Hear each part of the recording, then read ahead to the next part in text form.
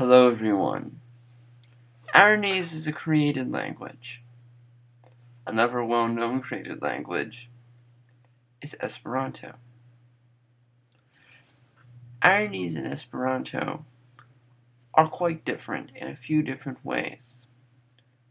The main difference is that Aaronese doesn't really have any original words. Everything in Aran everything it has, it gets from English.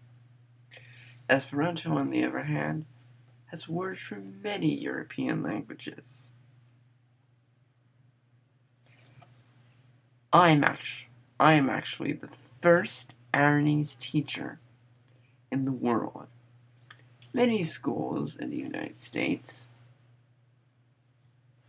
teach Spanish or French or German, occasionally Latin, and one school actually teaches Arabic.